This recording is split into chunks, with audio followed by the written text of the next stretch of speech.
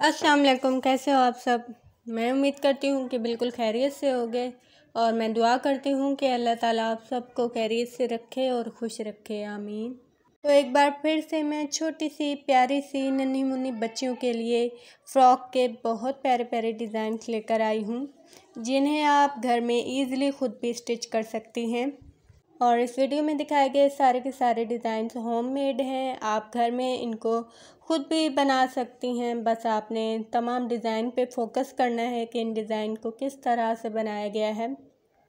सो so, अगर आपके पास छोटे छोटे पीसेस बच जाते हैं आपके सूटों से या आपके आप किसी के भी सूट सीती हैं तो उसमें से छोटे छोटे पीसेस बच जाते हैं। आप उनको इस्तेमाल में लाते हुए किस तरह से बच्चों के फ़्रॉक तैयार कर सकती हैं तो ये वीडियो उस हवाले से है।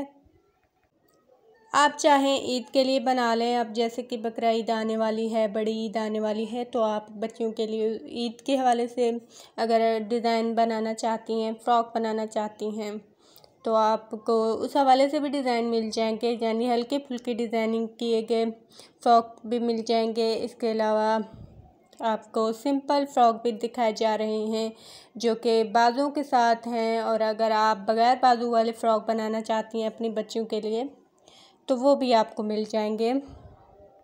इसके अलावा लेसेस से आप पिनटेक्स डाल के लेसेस से या फिर फ्रिल लगा के किस तरह से बच्चियों के फ़्रॉक बना सकती हैं। इसके अलावा जैकेट स्टाइल में किस तरह से बना सकती हैं।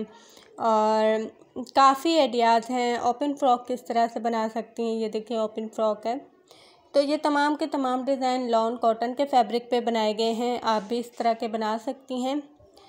तो अगर आपने वीडियो यहाँ तक देख ली है और अगर आपको वीडियो से डिज़ाइन अच्छे लग रहे हैं तो वीडियो को लाइक कर दीजिएगा। और अगर आप मेरे चैनल पर नए हैं तो काइंडली चैनल को सब्सक्राइब भी कर दें।